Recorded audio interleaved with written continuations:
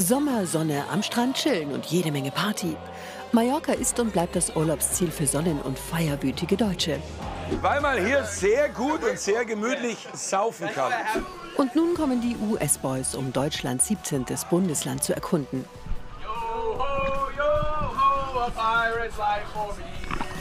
Connor Sullivan und Silas Nakita entdecken die deutscheste aller Mittelmeerinseln. Doch wie werden sie auf das deutsche Partyzentrum reagieren? Sie sind crazy, sportlich, American. Hola, wir sind zwei Amerikaner. Auf Mallorca. Los geht's. Das ist Enjoy Your Life in Full Trains, zwei US-Boys auf Mallorca. Los geht's am Flughafen. I passed the gate. Rein ins Auto, wo Connor schon wartet. Hey, we're back. Look who I'm with. It's Connor. Connor Sullivan. Uh, we actually just got to our finca. That's what they call it. It's called the Rainbow Finca. Die Jungs und das vierköpfige Kamerateam haben eine Finca im Örtchen Establiments im Westen Mallorcas gebucht. Der erste Eindruck ist aber erstmal nicht so berauschend. It looks. It just looks kind of ghetto. Hier in Establiments ist noch nichts vom Ballermann oder idyllischen Badestränden zu erahnen. Aber die Boys werden auch noch sehen. I have one goal this trip to figure out why Mallorca is the German party island. Yeah. Because so far, I don't get it. I don't know why. Doesn't look super nice. Aber von der Partyseite unseres sogenannten 17. Bundeslandes haben die zwei ja bestimmt schon mal gehört. Was erwarten sie denn? Ich schätze, es ist wie Oktoberfest auf einer Insel. Oder wie der Kölner Karneval auf einer Insel. Oder wie St. Pauli auf einer Insel. Ich hoffe nicht, bitte nicht. Bei ihrem Trip durch den Norden hatte Sales so seine Schwierigkeiten mit der sündigen Seite Hamburgs.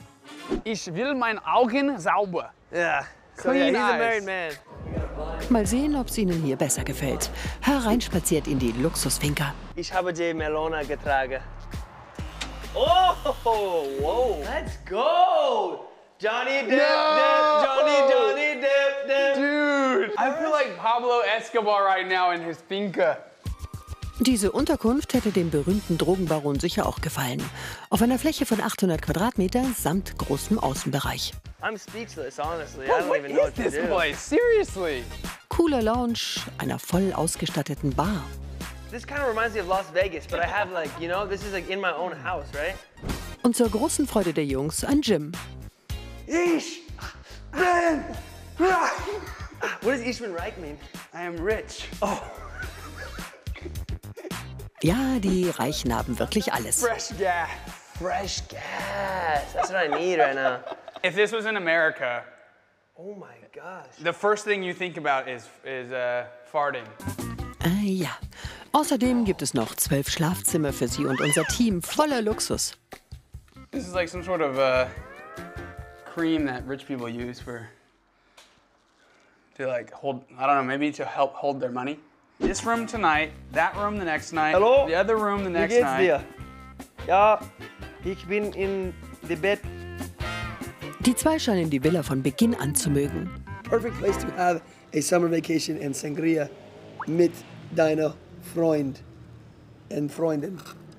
Freunde, alles die Leute. Mal sehen, ob die beiden US-Amerikaner da recht haben werden. Mallorca, baby! Aber die Jungs wollen natürlich mehr sehen als nur den heimischen Pool. Auf geht's in die nur 20 Autominuten entfernte Hauptstadt Mallorcas Palma. Und die ca. 400.000 Einwohnerstadt imponiert den Jungs direkt. Ich fühle mich wie in Barcelona. Da waren wir beide schon mal und hier ist sie ja halt typisch spanisch. Es ist wie ein kleines Barcelona auf einer Insel. Aber auch an Deutschland erinnert die Jungs die Altstadt von Palma. Das fühlt sich wie Deutschland an, nur mit spanischem Flair. Ich meine, exakt diese Straße habe ich schon mal in Marburg gesehen, in der Oberstadt. For the Nur die Steine sehen anders aus und es ist natürlich sauberer. Okay, Barcelona, Marburg, vielleicht noch eine Stadt? Salis meinte gerade, diese Balkone erinnern an Paris und die haben diese alten gotischen Kirchtürme da oben. Die sehen aus wie der Kölner Dom. Ach, Palma hat auch noch was von Köln. Als Amerikaner, der reist, fallen einem die verschiedenen Stile auf, welche die Europäer voneinander übernehmen. Die Kulturen inspirieren sich gegenseitig bei ihren Gebäuden. Das architektonische Highlight bleibt aber die im 13. Jahrhundert erbaute Kathedrale La Seu. This is like the clone, clone Wait a cathedral. second, this is sweet. It's actually like a combination of, bro, this is like Cologne Cathedral Notre Dame. mixed with Notre Dame in Paris. Yeah. Dang, bro. Der 27-jährige Connor und der 25 Jahre alte Silas scheinen im Urlaub angekommen. This is actually really nice. This is beautiful. I feel relaxed. I feel so relaxed. Sie beginnen zu verstehen, was die deutschen Urlauber immer wieder hierher lockt. I for sure get the hype now. Makes total sense. This is fantastic. Zurück in der Finca wird am ersten Abend zusammen mit dem Kamerateam gefeiert. Feuerabend. Die US-Boys genießen den Luxus eines eigenen Gyms, der vollen Kühlschränke und die anderen Annehmlichkeiten. Literally the pee-pee room. Nach dem ein oder anderen Bier dann auch selbstverständlich den Pool. A naked guy. Wir machen die Kameras besser aus und treffen die Jungs am nächsten Tag wieder. Die zwei haben Bock auf Action und die kriegen sie bei der künstlichen Surfwelle in Magaluf für 35 Euro die Stunde. Yes, let's do it. Die Vorfreude ist groß und dann geht's aufs Board. Allerdings im Anfängermodus. Wir machen nur die allereinfachsten Manöver. Am einfachsten ist es auf dem Bauch, dann Knie und dann aufstehen.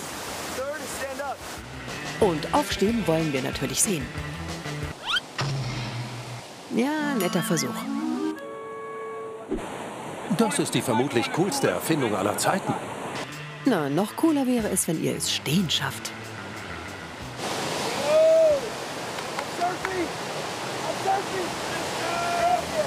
Na also, geht doch.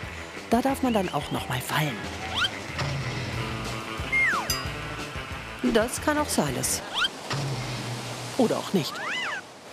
Ich würde schon sagen, dass es schwer ist, wenn man keine Erfahrung zum Beispiel auf einem Skateboard hat. Es braucht etwas mit dem Gleichgewicht. Aber das Wichtigste ist, keine Angst zu haben. Ich sag 6 von 10 auf der Schwierigkeitsskala.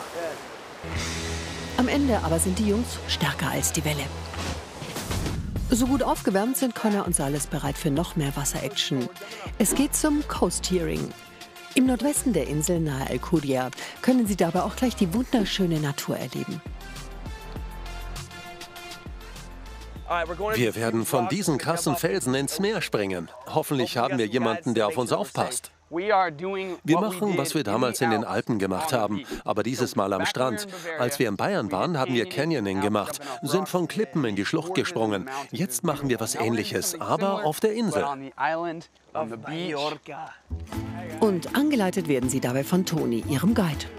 We're going to do some flips, some cliff That's jumping. Heck yes. some climbing. Heck yes. Are you scared? No, I'm all right. nein, das ist cross. Dann nichts wie rein in die Wetsuits, obwohl I didn't have to ex- expect to wear anything. I thought we were just gonna be in bathing suit, you know? Just naked. Just naked. Yeah, that's what I thought. But apparently it's a little more intense. schade eigentlich, doch Sicherheit geht natürlich vor. Oder Jungs? So our goal today was to have fun to the point of almost dying, but not. Das wäre wünschenswert. Der Einstieg ist dann auch noch harmlos. Aus einem Meter geht's das erste Mal in das kühle Nass. Obwohl, so kalt ist das Mittelmeer ja nicht. Das Erste, was mir auffiel beim Eintauchen, war, dass das Wasser viel wärmer ist als in Kalifornien. Die Leute haben den Irrglauben, dass das kalifornische Meer sehr warm ist. Aber das stimmt nicht. Man denkt an Hollywood, und die Strände, Leute in Badeklamotten. Das stimmt soweit. Am Strand wird sich gebräunt, aber im Wasser ist es kalt. Da kannst du nur You can 10 only stay Minuten ohne 10 zu zittern aushalten. In den Sommermonaten hat das Mittelmeer rund um die Balearen eine Temperatur von knapp 27 Grad.